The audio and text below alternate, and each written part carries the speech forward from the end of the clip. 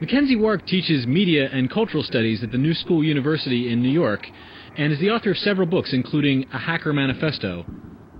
Ken's new book, Gamer Theory, will be published by Harvard University Press in spring 2007, but in the meantime, the Institute for the Future of the Book worked with Ken to present Gamer Theory as a networked book on their website. By visiting futureofthebook.org slash gamertheory, you can read Ken's book in progress online and take part in the discussions with the author and with other readers. Hello, Ken. It's nice to have you on This Spartan Life. It's a pleasure to be here. You've already met our camera people, Sherry and Peaches. It strikes me as maybe kind of a brave thing to do to put your book online before it's been published in print and open up the whole process to criticism and comment. How has that whole experience been for you as an author? Uh, it was interesting. I mean, I, I thought it would be uh, kind of scary. You know, it's uh, it's like having people shooting at you. You know, you put your uh, text up there before you're even really done with it, and then people post comments. But I think uh, the way it ended up was that uh, people treated it with a really good spirit, and most of the comments were in fact really useful. Yeah, it's helpful as a reader too to have the comments right there as you're reading the book. It sort of brings out what uh, writing always is anyway, which is that in a sense you're always the DJ of other people's uh, thoughts and ideas. And this just sort of makes that manifest. It makes it a bit more obvious that what other people read and then feed back to you is part of the process. So let's take a walk. Now, in books and movies, there's usually a narrative, which moves in a linear fashion, normally. And in games, you and others have argued that that has been replaced by the algorithm of the game, or the coded rules and physics. But in gamer theory, you talk about allegorithm. Well, allegory is a really ancient figure, and it's a way of seeing how a text, or any work of art really, gives you a sense of what the totality of the world is that you're living in. Some people say that we're now living in uh, a world that is uh, algorithmic, you know, from uh, algorithm, which is, you know, if you like, a process with a start and end that performs some function. So, following Lev Manovich and uh, Alex Galloway, some of us talk about algorithmic culture. And so if you put allegory and allegorithm together, uh, you've got algorithm, which is that uh, maybe the what's important about things like computer games is the way algorithms start to run the world.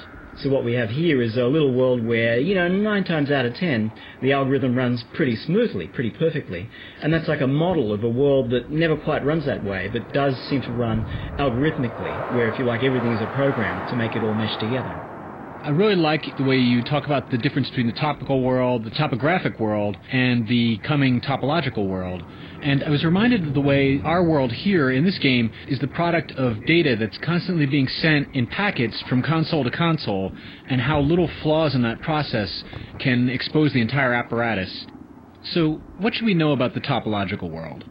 It's a way of, of kind of imagining that uh, spaces get woven together ever more tightly by more and more lines of transport and communication. And so I use these three terms, uh, the, the topic or the topical, the idea of an ancient world, uh, where everything is like little spaces that are very, very uh, imperfectly and tenuously connected together. And then the topographic is, if you like, the early modern world, where uh, railway and telegraph start to sort of thread it together, but really it's, it's really not quite there. But to give us then a sense of a third stage of where we're heading, which is uh, what I call topology or the topological, a sense in which every place and everything is connectable to everything else. Uh, so you could transform any part of the world into any other part of the world, if you like. Transport and communication. Yeah.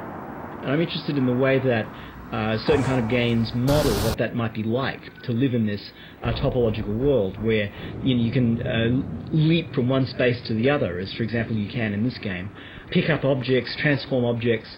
You know, how do we start to then think through our culture about what it means to be in that kind of topological space? When our very presence is abstracted, as it is in online gaming, it does seem like we're being prepared for a new kind of world.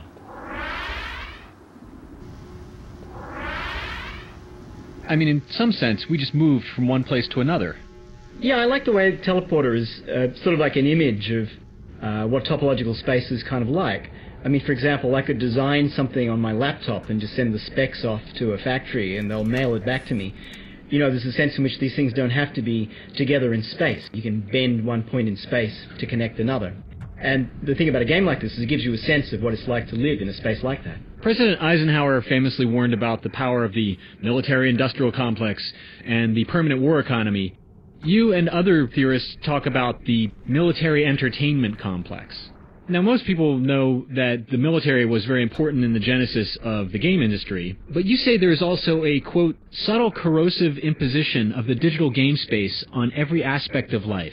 Yeah, I don't know who coined uh, the military entertainment complex, but there's a sense uh, in which everything around us seems game-like these days. And it's not just that the technologies are all kind of connected and, and came from the same place. Uh, it's really that it's, it's kind of uh, affecting the culture that the culture is all becoming one thing. All aspects of life end up becoming under the influence of a sort of universal and ubiquitous computing to be game-like, and we get this sense of uh, everything becoming a game. Right, we call this Spartan life a talk show in game space, and I've always used that phrase to mean the space in which you play a game, or in our case, don't play it. But you use the term game space to describe the real world, which has become more like a game. Well, it's a sense that uh, work is a rat race, uh, that politics is a horse race, that the economy is a casino. So, you know, there's a kind of sense of uh, everything being a game, but those games never really having clear rules. The odds definitely seem stacked, you know, to the kind of Enrons of the world rather than to the uh, average ordinary person. So, I, I, see all of that as, if you like, military entertainment complex, uh, producing a game space. Uh, but compared to that, actual computer games seem, you know, really a kind of blessed kind of world. At least you sort of know where you stand, and that to me is uh, one of the reasons that they might be so popular. So you chose a handful of games to talk about in gamer theory. What attracted you to the individual games? All the games that I write about in uh, Gamer Theory are kind of the, the single player experience. Uh, so I wrote about Rez because I just think that's a really, really beautiful game. And there, my interest was targeting. Is this idea of uh, what is it in the experience of sort of targeting something and shooting at it that seems so kind of satisfying. Uh, and it's a way of, of sort of solving the problem of the anxiety about being. You know, when you lock onto the target, you're sort of at one with it. Uh, but then as soon as you've hit it, you're sort of forced back into a subjectivity that is entirely your own. Uh, so that to me struck me as what you can say about the act of targeting, which is common to very many games. Right at the start of your book, you talk about what you call the cave, which sounds a lot like a video game arcade, but you're taking a metaphor from Plato. And I'm wondering what was it about Plato's metaphor that made you want to update it for the age of video games? Well, I mean, it's the the sort of the root of any kind of uh, theoretical thinking that there's something about this world that's deceiving us. You know, that there's a light, uh, the light of reason or thought that'll help us, but in uh, Plato's metaphor of the cave, it's coming from outside. Uh, so we're all, if you like, strapped in the cave, uh, and we think these shadows are kind of real when they're really just the shadow of something somewhere else. But maybe there's more to learn staying inside the cave than trying to get out of it. So I want to sort of turn the metaphor around. And one of the things Plato says happens inside the cave is that, if you like, people compete for prizes. That's the thing that keeps us in this cave that, for him, is, is what's sort of misleading us about what the world is like. What if the thing to do is not to try to get out of the cave, but stay in it, to try to explore this world, this game world that we're in, and try to see how that might be more true to the world outside of it than anything else? Because if the world outside is becoming more and more game-like, then this is in fact the most real thing there is. Because it's the almost perfect form of what it would be like to live in a world that's been turned into one enormous game space. I don't know if you noticed, but this entire map is pretty much one big cave. Well, I got a ray of light that I'm looking straight at, actually. It's really kind of pretty over there. Oh, I can see sky! Yeah, that, that might be our way out. But I, I got bad news for you. I mean, I've tried for hours to get out that hole. so did you get there? Well, if you look at where I'm shooting, we got up to that ledge right there, and that was it. I know there's something out there, you know, big, flat, untextured space. But I have a thing for big, flat, untextured spaces. You see, it's not really outside, it's inside the game. Yeah, it's not outside the game, but it's calling me. So if we walk over to the other side, maybe you would like to read a section from your book for the gamers who've joined us.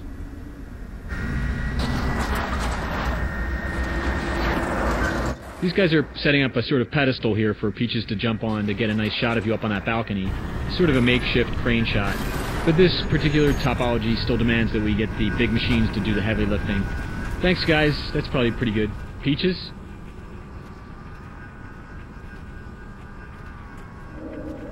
Ken, you know where to go? Yep. Okay. Is everybody ready? Settle down. Camera rolling. The Institute for the Future of the Book and This Spartan Life are proud to present McKenzie Wark reading from his book Gamer Theory. Take it away, Ken. Thank you, Damien. Ever get the feeling you're playing in some vast and useless game to which you don't know the goal and can't remember the rules? Ever get the fierce desire to quit, to resign, to forfeit, only to discover there's no umpire, no referee, no regulator to whom to announce your capitulation?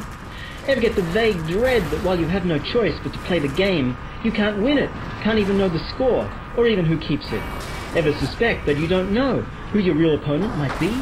Ever get mad over the obvious fact that the dice are loaded, the deck stacked, the table rigged, and the fix in? Welcome to GameSpace. It's everywhere, this Atopian arena, this speculation sport. No pain, no gain, no guts, no glory. Give it your best shot. There's no second place, winner take all. Well, here's a heads up. In game space, even if you know the deal, are a player, have got game, you will notice all the same that the game has got you. Welcome to the Thunderdome. Welcome to the Terrordome. Welcome to the greatest game of all. Welcome to the playoffs, the big league, the Masters, the only game in town. You are a gamer, whether you like it or not. And now we all live in a game space that is everywhere and nowhere. As Microsoft says, where do you want to go today? You can go anywhere you want in game space, but you can never leave it.